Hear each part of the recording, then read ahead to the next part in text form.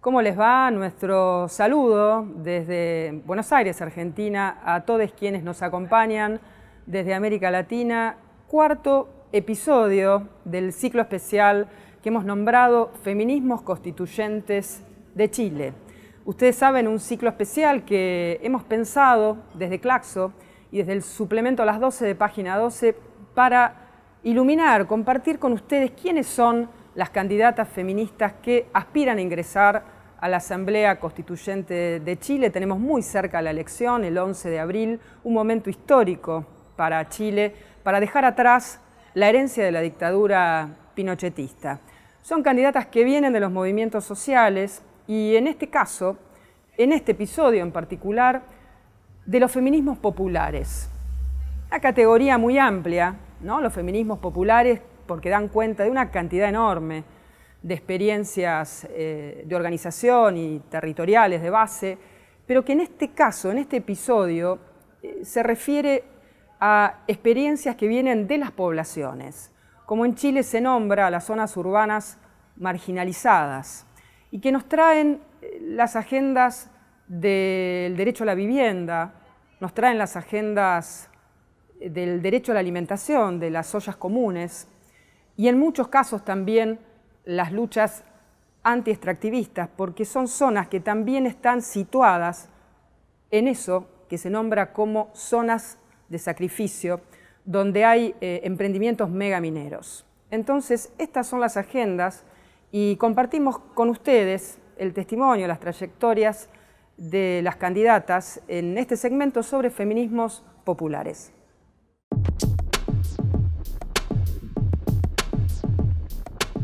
Bienvenidas Dalila, bienvenida Dayana, eh, muchas gracias por aceptar este convite. Nos vamos a la región de Antofagasta, al norte de Chile.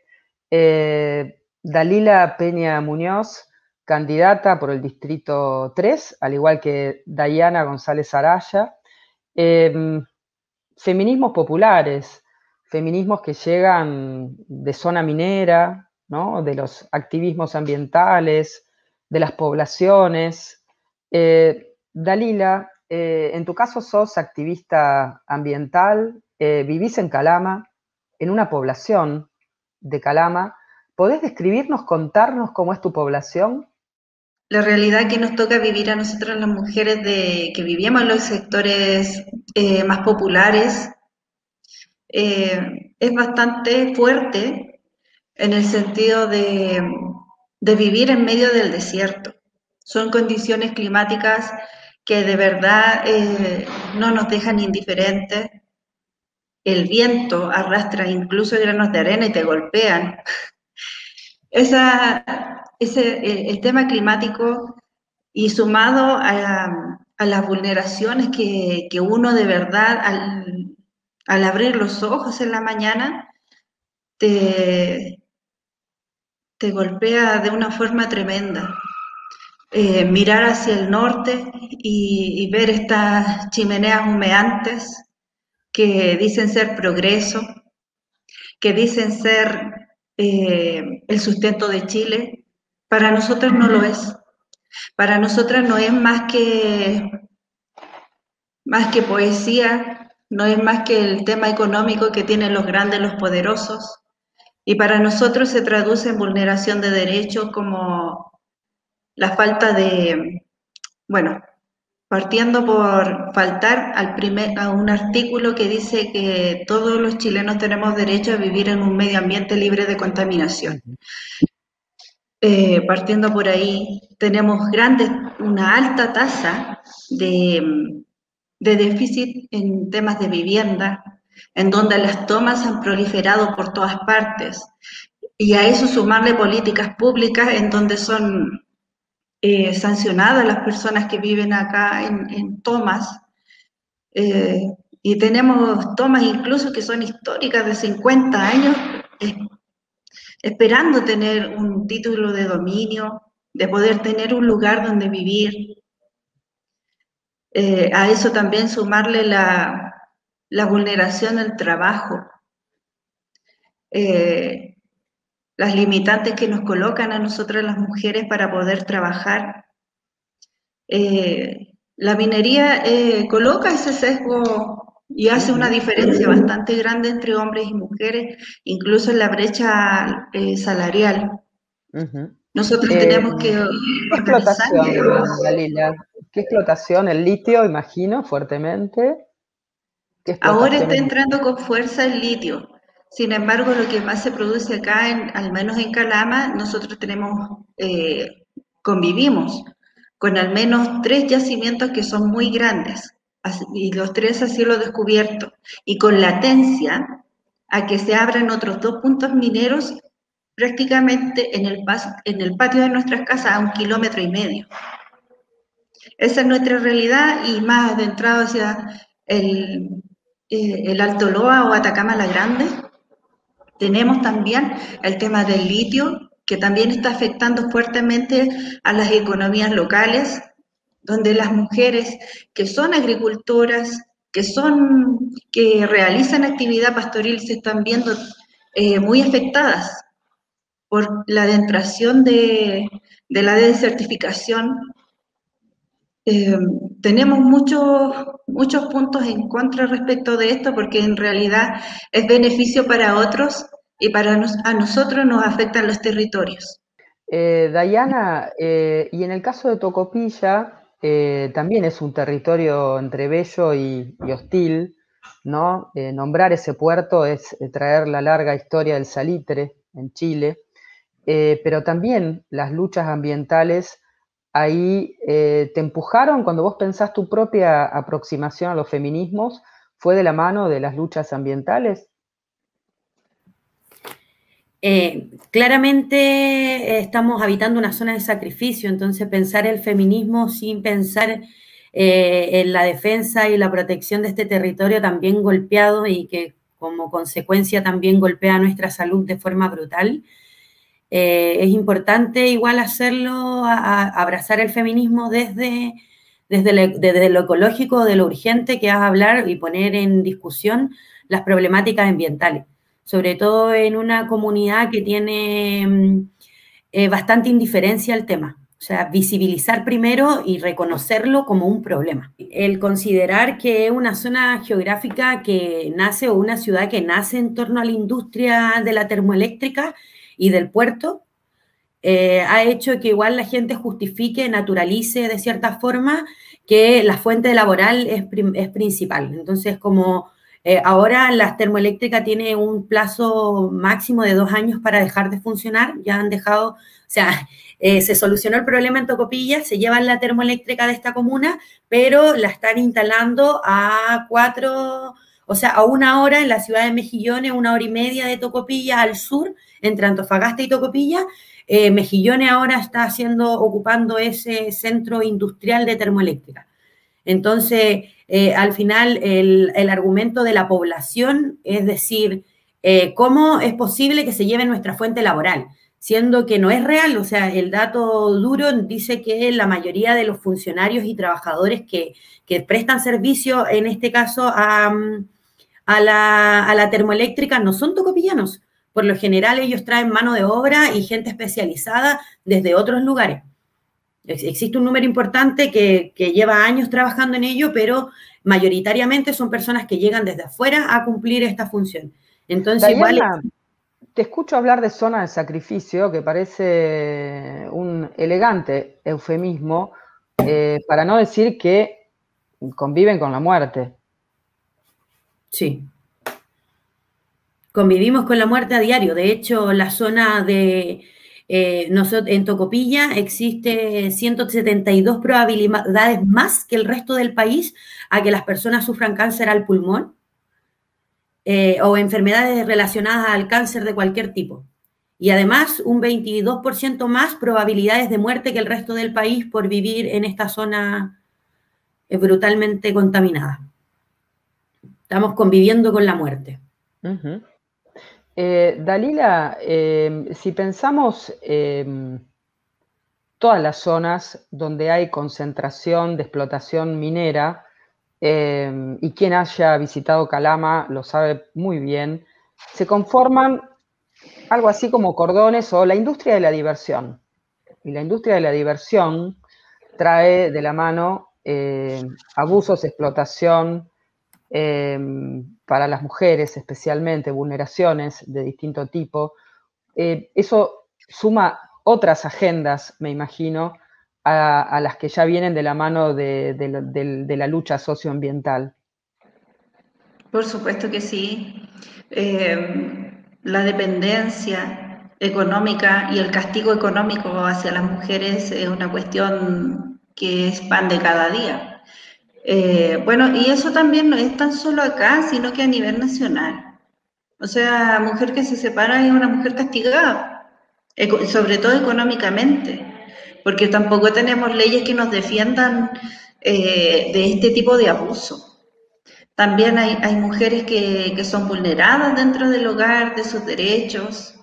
Eh, no tenemos una defensa efectiva respecto del tema de, nuestros derechos como mujeres. Yo me refería además, Dalila, a más allá de la posición, que naturalmente el debate dentro de los feminismos es un debate abierto en torno al trabajo sexual, al abolicionismo, pero lo cierto es que en la zona minera eh, los prostíbulos, eh, la explotación sexual eh, y por lo tanto las posibilidades de trata de personas eh, o de situaciones de abuso y de, niñas, además violentadas, me imagino que debe sumar además otra agenda urgente. Por supuesto que sí. Ahora, ahora bien, acá es muy habitual acá en el norte de Chile que desaparezcan mujeres, que desaparezcan niñas. Eh, entonces también estamos hablando de trata de blancas, de violaciones, de... Es, un, tema súper duro, porque son cuantas madres buscando sus hijas, y no tan solo acá en Calama. Yo, de verdad veo este tema tan transversalizado en, el norte de Chile, porque hay un desierto muy grande. Entonces, es triste con el tiempo encontrar a, a nuestras hijas. Digo nuestras porque también me hago parte del dolor de esas mujeres que son madres y también de lo que ellas tuvieron que, que pasar. Otras veces eh, son cosas tan dolorosas que, sobre todo cuando te tocan de cerca, cuando tú conoces casos, eh, y, que finalmente no hay justicia. No hay justicia porque de verdad eh, es una situación que de verdad a uno, a uno le, le, llega adentro. Sobre todo saber eh, de las formas en que, que, fueron tratadas y muchas veces a través de los medios por no perjudicar eh, su reputación como, como persona, estas cosas quedan ocultas y no son, y más encima muchas veces ni siquiera son denunciadas y dejan a las niñas con las culpas cuando son encontradas al menos vivas. Tenemos muchas situaciones de esas. Y ahora también con el, eh, hay un tema que también tiene que ver con, con, eh, con el tema de la migración que también hay, hay un alto tráfico de trata de, personas, de mujeres, de niñas jóvenes, que vienen también del extranjero a sufrir lo mismo. Porque también hay, hay, un tema de, de, visibilización, como que hay tanto dinero que van a tener unas condiciones de vida espectaculares. Pero ¿a qué las traen? A prostituirse.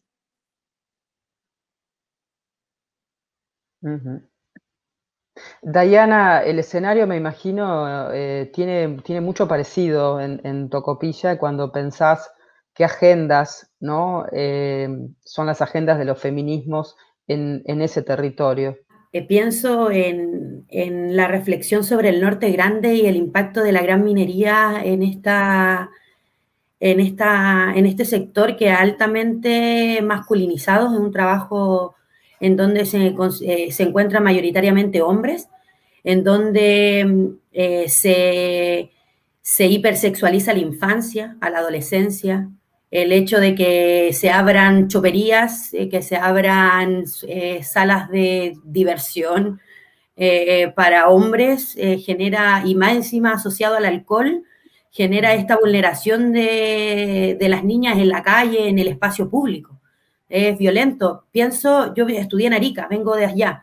Entonces, en Arica es un lugar que ha defendido mucho su territorio de la minería. Las mujeres también ariqueñas Ahí han dado una lucha importante para que la minería no llegue a Arica por el hecho, además, por, aparte de todo lo violento que es el extractivismo de la actividad minera, es eh, el exponer a, sus niñas, a sus mujeres, a esto de, eh, de, de, una población que aumente la población, gente de afuera, que son mayoritariamente hombres, y que vulneran en cualquier espacio a las niñas, que es un poco lo que pasa en Calama, lo que pasa en Antofagasta, que son ciudades en donde la población minera eh, es un número significativo. Aparte, como decía Dalila recién, el tema de, de que el minero, el, el, trabajador minero gana mucho dinero. Entonces paga todo lo que puede pagar. Imagínense, son siete días y siete días que está bajo o turno de 15 por 15. Y en esos 15 días muchos bajan a, a pagar por, por servicios que vulneran los derechos de las mujeres sea, eh, que está completa, un conjunto de violencias que además eh, impactan sobre los cuerpos de las mujeres y, también de otras identidades con, y que están completamente naturalizadas. Imagino que para, ustedes desde el activismo feminista hay ahí un, un territorio muy difícil y muy complejo porque además esto también divide aguas dentro de las familias, ¿no? Sí. De hecho, eh, eh, tenemos una cultura patriarcal tan eh, arraigada que se justifican al final, primero se justifica el, quizás es algo personal, pero el trabajador minero no tiene conciencia de clase. O sea, no, no se reconoce como un trabajador igual de precarizado, porque en verdad, claro, su sueldo, su, el trabajo que tiene, está 15 días, no disfruta su familia, no está en casa, eh, desaparece de su vida, de su núcleo familiar y está expuesto a enfermedades propias de la producción o del trabajo que realiza, pero tampoco se ve como un problema. Y desde ahí tampoco reconoce las problemáticas que, son... Eh, eh, que acompañan la minería en general en la ciudad, las problemáticas de género, las problemáticas de la salud, educación, o sea, eh, los estudiantes de, lo, de, quienes trabajan en la minería por lo general asisten a escuelas pagadas, a, las gran, a, la, buena educación, acceden a buena educación. Entonces, claro, a costa de esto otro, invisibilizamos el tema. Y claramente en la familia en verdad existe ahí entre la familia que trabaja en la minería y da una justificación al, extractivismo abusivo y entre la familia que en verdad ve las consecuencias negativas del trabajo del tío, del primo o de, quien esté. Em, Dalila, la dimensión de clase que nos trae Dayana es una dimensión muy fuerte en este encuentro. Eh, ustedes son pobladoras, ¿no? Eh, digo, en tu caso, Dayana, la posibilidad, por supuesto, de haber ido a la universidad, pero eh, digo, no es el camino común de muchas de las eh, compañeras pobladoras. o sea, ustedes expresan a un feminismo de abajo, ¿no? ¿qué, ¿Qué significa, Dalila, te lo pregunto a ti, ser una voz, una candidata que expresa las agendas de las mujeres pobladoras. ¿Qué, agendas urgentes aparecen allí? Algunas ya has empezado a caminarlas, pero me gustaría profundizar porque, porque resuenan con mucha urgencia eh, para que se escuchen en los espacios constituyentes de Chile esas agendas que vienen de abajo. Claro. Bueno, partir diciendo que a nivel regional y también en la agenda nacional cada año se, se testean cierto los balances de los derechos de las mujeres, que son también parte de los derechos humanos. Eh, en esa evaluación entra la equidad económica, ¿cierto? Por las brechas salariales y también las políticas eh, entre género.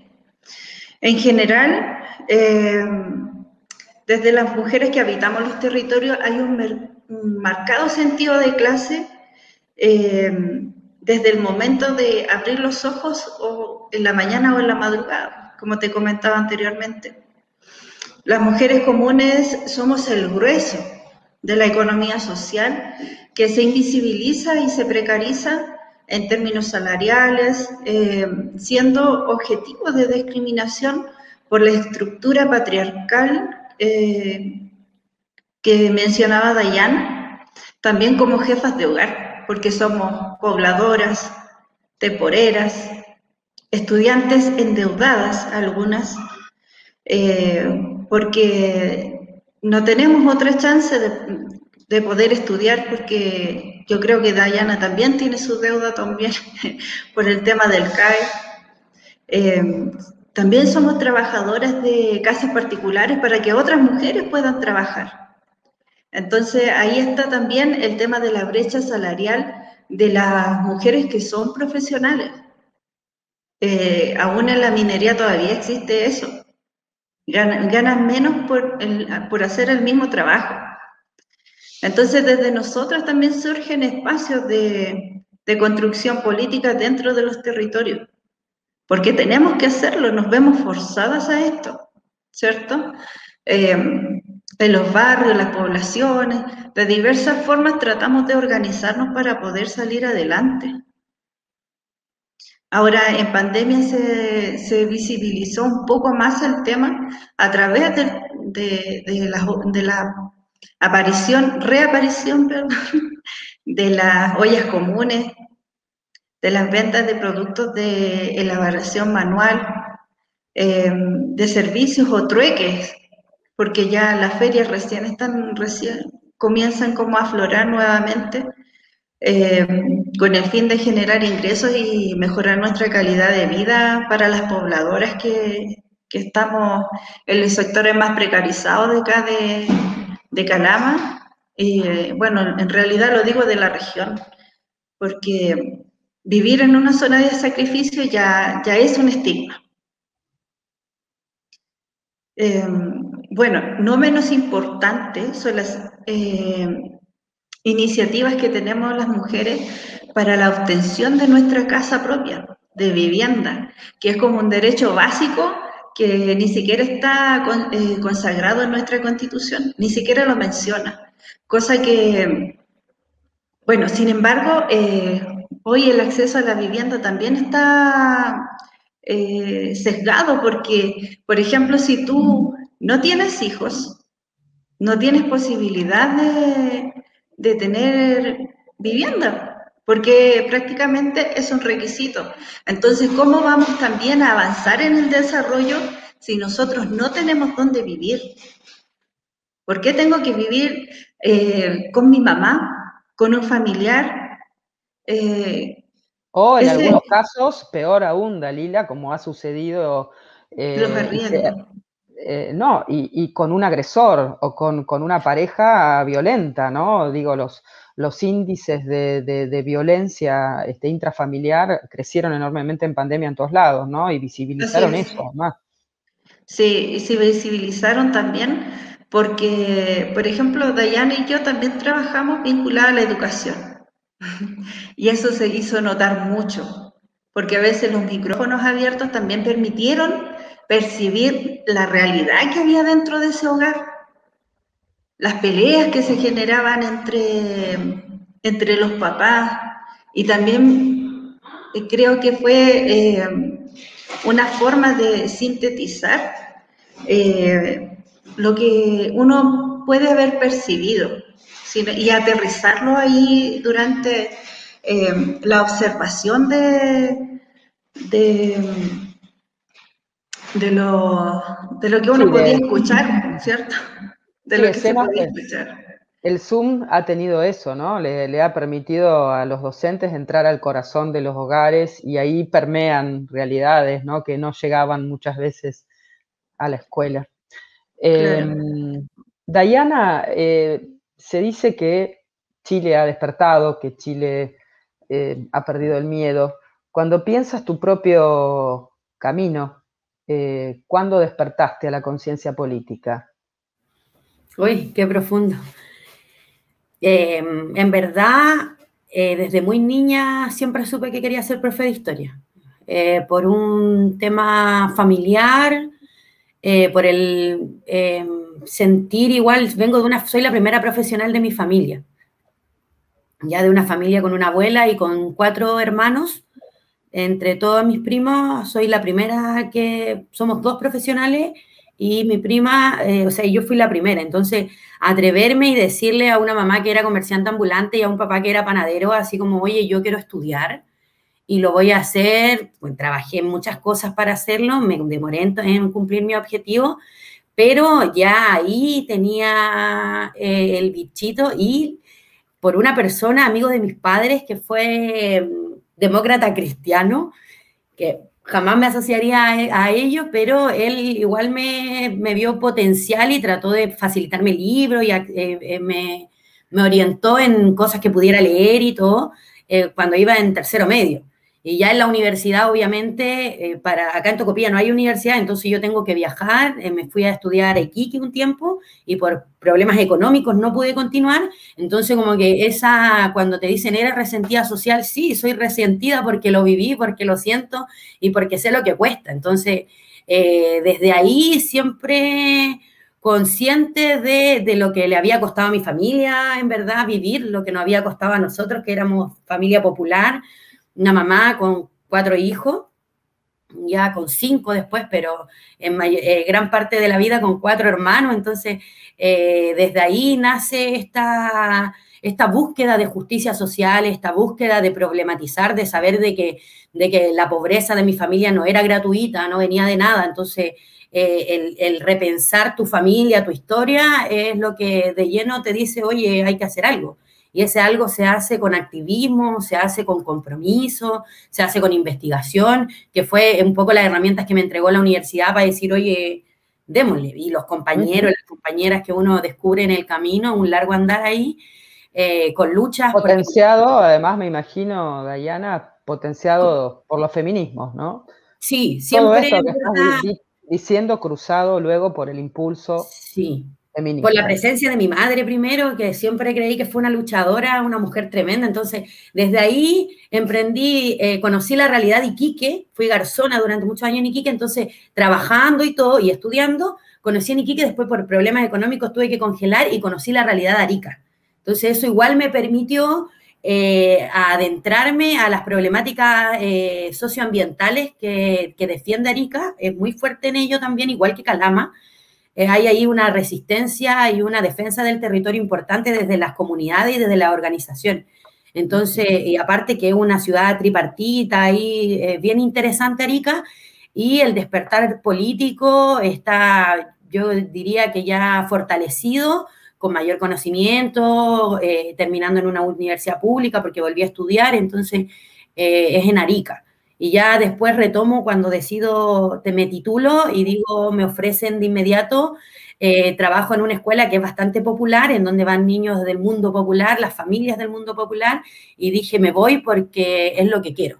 En Arica era quedarme haciendo clases en, escuelas particulares o subvencionar, y dije, no, entre volver a mi tierra y, y, volver, porque en verdad me había ido tanto tiempo, y con esta, que, con esta... búsqueda de, justicia por mi territorio, porque Tocopilla es un lugar abandonado. Eh, acá las instituciones municipales tienen este lugar abandonado, o sea, no hay, no hay inversión pública, no hay instituciones que solucionen problemas, eh, las escuelas tampoco se abren a nuevos desafíos, entonces, como desde, desde la protección de la infancia, desde abrazar la infancia con educación no sexista, con eh, conciencia de clase, fue lo que me, lo que me motiva en verdad ahora a estar involucrada en esto de, así de lleno. Dalila, conversábamos recién con Dayana sobre esos trayectos eh, que, empujan al activismo. Eh, en tu caso, hoy la educación es tu territorio, la, educación intercultural, ¿no? ¿Nos saludás en idioma kunza? Por supuesto. Para saludar, uno dice Callajía Juacina, buen día. Licau, mujer. Así nos, saludamos en Kunza. Y cuando son, muchas mujeres, eh, Licaucota. Es decir, Callajía Juacina, Licaucota. Para saludar a ambas idioma de los pueblos ataqueños, ¿no? Atacameño o Licanantay. Recordemos también que la historia nos dice cosas. Por ejemplo, el nombre con el que rebautizaron a, los eh, pueblos originarios. Los mapuches son mapuches y ellos le llamaban araucanos. Y acá les decían atacameños por el territorio, pero ellos son el pueblo Licanantay. Bueno, eh, mi área de desarrollo personal o profesional es precisamente la educación intercultural. Además, también soy educadora ambiental. En escuelas vulneradas, trabajo con niños y niñas vulneradas acá en, la ciudad de Calama. Pero tenés además, eh, Dalila, una larga trayectoria eh, en, la defensa del río Loa, ¿no? 18 años actuando en tu zona, en tu territorio, que, bueno, un activismo medioambiental que también teje puentes con esa historia larga, ancestral, eh, con ese idioma kunza, con esos pueblos que habitaron el norte chileno, ¿no? Eh, y desde este tejido eh, me gustaría invitarlas, ¿no? Digo, son los tejidos de las luchas, tejidos que tienen una resonancia, eh, un grosor propio, un color propio, que es el que viene de cada territorio, el que procura llegar eh, con su grito a la convención constituyente. Em, ustedes tienen detrás un mandato. Eh, no es, es Dayana, no es Dalila, viene de un proceso de debate con asambleas, cabildos, entonces, me gustaría eh, proponerles a cada una eh, un, cierre, el que ustedes elijan, que logre expresar eh, ese mandato, que es un mandato que viene de las poblaciones, que viene de los feminismos populares. Quien quiera. Dalila, ¿querés arrancar? Primero decir que efectivamente soy una mandatada, que yo no me autorrepresento, que no es Dalila quien va, sino que es em, la mandatada de las organizaciones sociales que luchan en Calama, organizaciones que se han reunido y que se convocan acá en el local de la red de mujeres con el fin de levantar todo lo que se trabajó en los cabildos, em, en los cabildos de temas de género, de temas ambientales, de la infancia, de salud, que nos atraviesa de forma transversal y se levanta un mandato que nosotros vamos a defender desde, la, desde nuestra propia orgánica.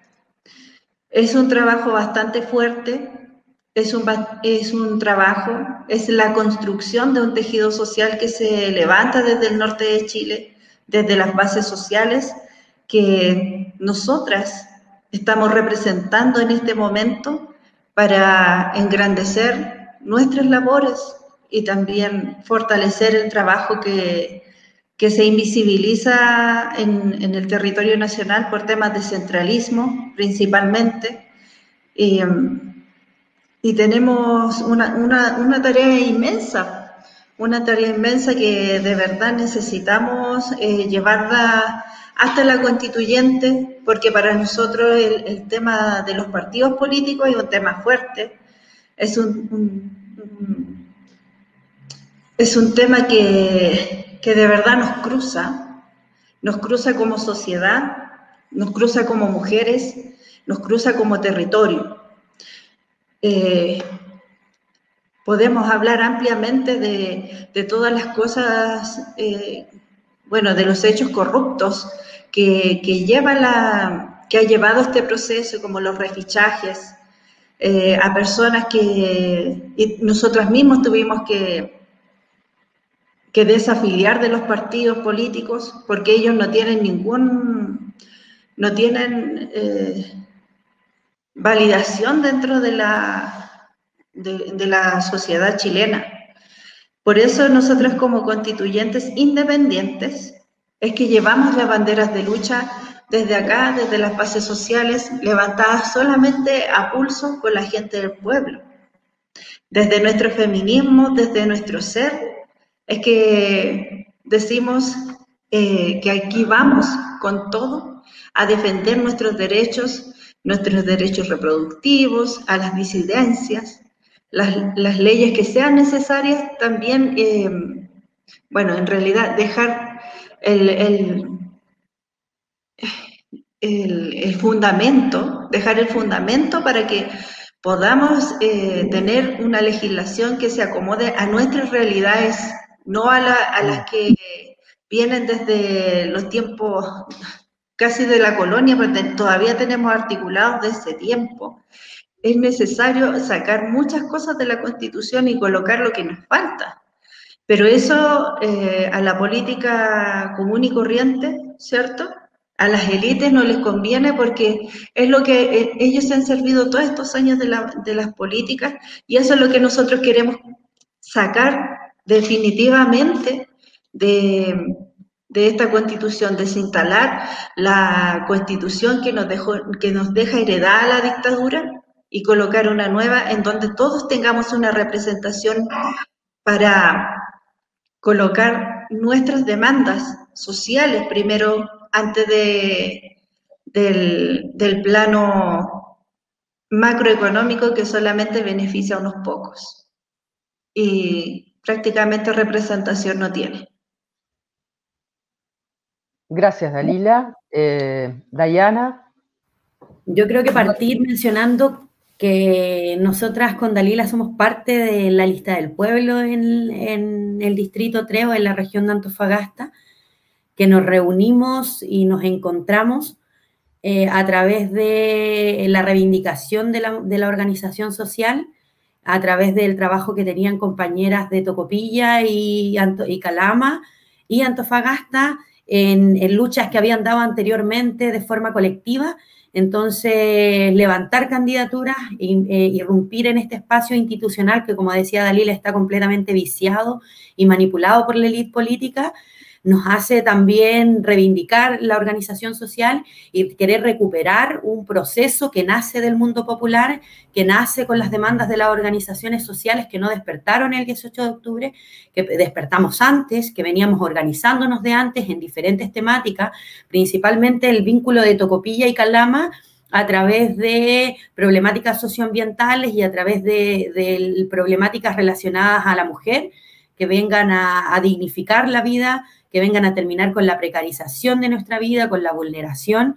O sea, levantamos programas pensando en la plurinacionalidad, porque creemos que consideramos, en verdad, que eh, eh, el mundo popular eh, surge en el mundo popular, en el barrio, la población, yo me encuentro mujeres migrantes, me encuentro mujeres migrantes bolivianas, mujeres migrantes peruanas, colombianas, que son parte de nuestra lucha, por las cuales nosotros también nos levantamos, por las cuales también nos organizamos.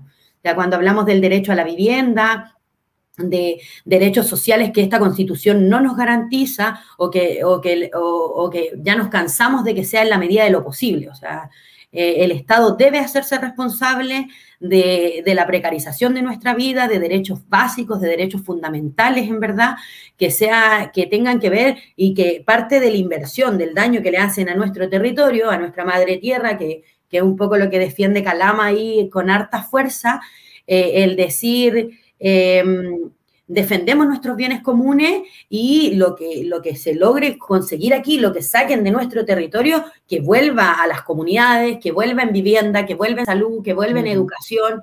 Entonces, em, eh, irrumpir en este espacio con los movimientos sociales es porque creemos y consideramos que es la única forma que tenemos de realmente cambiar este proceso. O sea, si los movimientos sociales y el mundo popular se margina, ya eh, no, no vamos a conseguir lo que queremos. Y sería lamentable porque llegar a esta discusión, llegar a encontrarnos, significó vidas menos, significó pérdida de ojos, significó compañeros y compañeras brutalmente reprimidos por la policía, por carabineros de Chile, que es una institución criminal. Eh, por un gobierno que también ha sido criminal durante todo este proceso, que ya no debería estar gobernando. Entonces, em, el, irrumpir, el, entrar, el querernos posicionar, eh, el dar la pelea y a pesar de las desventajas, a pesar de la desigualdad, a pesar de la discriminación desde la institucionalidad, es creer con convicción que la lucha que han dado las organizaciones, que ha dado Calama, que ha dado Tocopilla, que ha dado Antofagasta, que ha dado tal tal, o, las luchas que han dado los pueblos originarios de la región, eh, debe entrar, debe establecerse, tenemos que hablar sobre una constitución ecológica, tenemos que posicionar los derechos de las mujeres de forma transversal, que el Estado se haga cargo de la violencia estructural, de todos los tipos de violencia, que se haga cargo de la erradicalización de la violencia en nuestros territorios, en nuestras compañeras, en nuestras cuerpos. Entonces, em, si no lo hacemos a través del feminismo popular, si no lo hacemos a través de, las mujeres pobres, de las mujeres de donde nosotras venimos, además, que, que nos estamos contando una realidad que nos contaron, es la realidad que nosotras vivimos.